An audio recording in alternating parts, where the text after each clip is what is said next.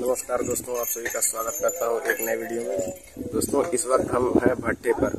और देखिए, यहाँ पर कुछ इस प्रकार से इसमें पकाए जाते हैं जो ईंटे और यहाँ पर हम आए हुए हैं तो आप लोगों को दिखाएँगे किस प्रकार से ईंटों का जो रखा जाता है, बीच में इतने बड़े एरिए में लगभग 20-22 फीट के एरिए में जितनी ऊंचाई पर 10 फीट की ऊंचाई पर रखे जा रहे हैं ईंटे, देखिए, कुछ इसी प्रकार से रखे जा रहे हैं ईंटे और देखिए, नीचे रस्सी से नाप मिला कर रखे जा रहे हैं और कुछ इसी प्रकार से उस छोर पर कम की संख्या में ईंटे रखे हुए हैं मिलाने के लिए और देखिए, यहाँ पर ज़्यादा की संख्या में रखे हुए हैं ईंटे मिला देख लिए यहाँ पर देखिए, घोड़े से लेकर आ रहे हैं और यहाँ पर देखिए, ईंटों का लाद कर इतनी की संख्या में और वहाँ पर देखिए कोयला निकाल रहे हैं।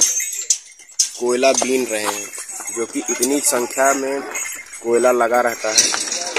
कितना? लाखों लाखों की पब्लिक। भाई, लाखों लाखों रुपए की संख्या में जो कोयले लगाए जाते हैं तो उन्हें निकालने का भी काम किया जा रहा है। कहीं ना कहीं इसमें राबिस जो मिट्टी निकली रहती है, ईंट की मिट्टी जो बनी रहती है, फिर उसे राबिश कहते हैं सभी। और यहाँ पर सबसे बड़ी सिगरेट के पास हम खड़े हैं, जो कि कल कारखाने का धुआँ काफ़ी नुकसानदेह होता है, लेकिन मकानों को बनाने के लिए ईट की आवश्यकता होती है देखिए किस प्रकार से रख रहे हैं। और वहाँ पर देखिए, ऊपर से एक भट्ठा सामने वहाँ पर चल रहा है, जो कि उसमें ईटे को पकाया जा रहा है।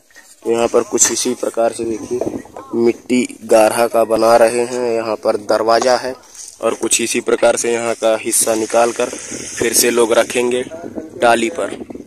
यहाँ से भी आप टाली लेकर आ सकते हैं और देखिए, उस तरफ़ के जितने भी भाई, वहाँ पर कोयला रखकर आँच पकाई जा रही है। और यहाँ पर देखिए, कोयला को निकाल रहे हैं, वहाँ पर टाली से लाद रहे हैं। और कुछ इसी प्रकार से दोस्तों, भट्ठे पर काम चल रहा है और वहाँ पर एक भट्ठे से धुआँ निकल रहा है। देखिए, कैसे भैया लोग आ रहे हैं ये सब। मतलब